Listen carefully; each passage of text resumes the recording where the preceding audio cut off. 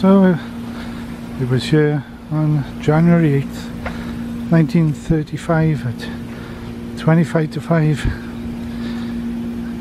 the early hours of the morning that Elvis Aaron Presley was born in this very house.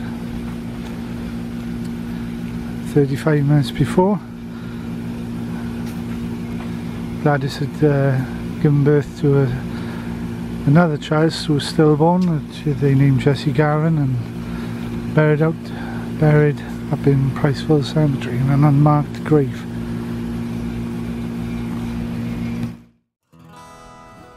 So here we are in Priceville Cemetery. Just coming through the entrance there. Pull down, there's a little pull in here.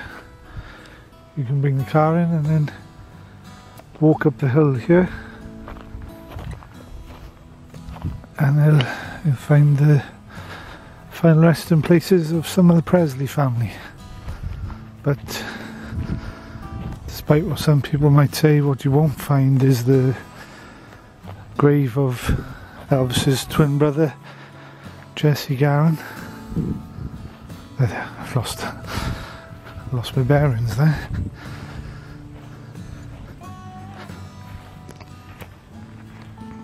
Ah, is that new? I don't remember seeing that before. Jesse Garon Presley, January 8th, 1935 don't I can't remember seeing that. I'll have to look at my uh, film from two years ago. Flowers have been added. Can't see can't see the stone that was there.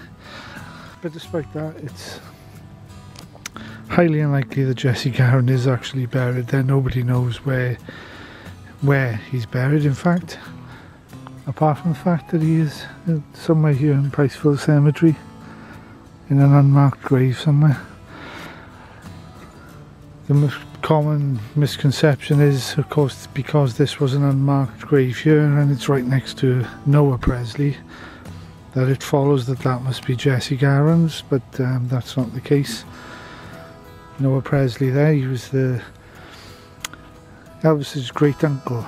He was the brother of Elvis's grandfather, Jesse, um, Jessie D.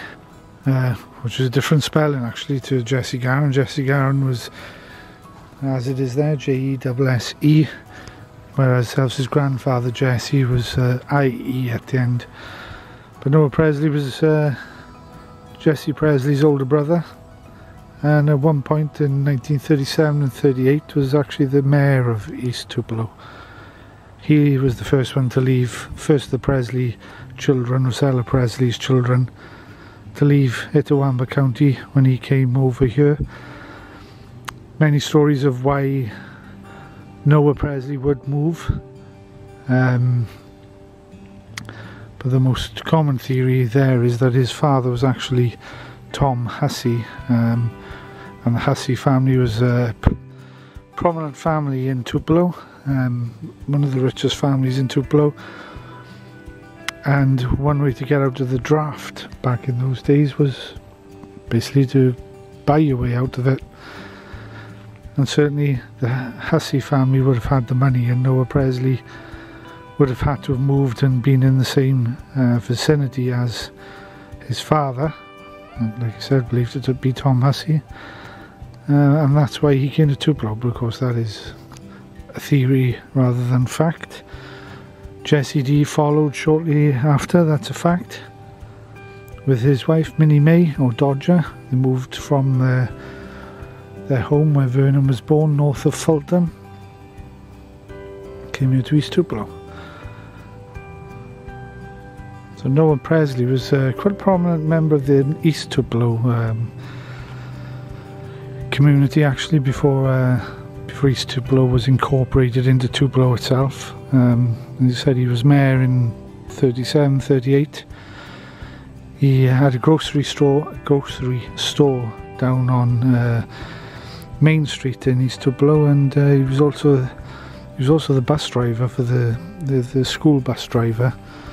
Um, so he would have taken Elvis to school, maybe even possibly picking him up from downtown Tupelo uh, from Milltown and bringing him back to East Tupelo Consolidated. But another function uh, Noah Presley was known to carry out using his the school bus was to actually ferry Gladys and Verna, uh, Gladys and Elvis occasionally up to Parchman Penitentiary to visit Vernon when he was incarcerated there in 1938. So this is Susan Presley,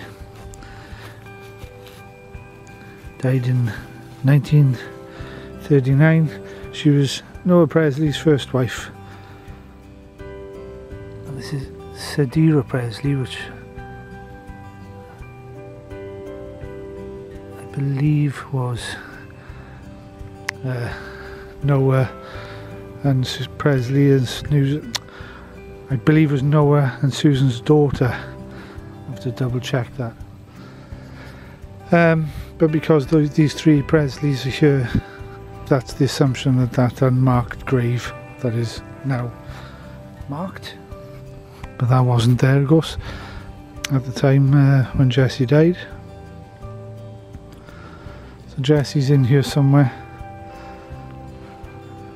but even the Presley family don't know where that's been lost over the over the course of time. Okay, so that's our uh, visit to Priceville.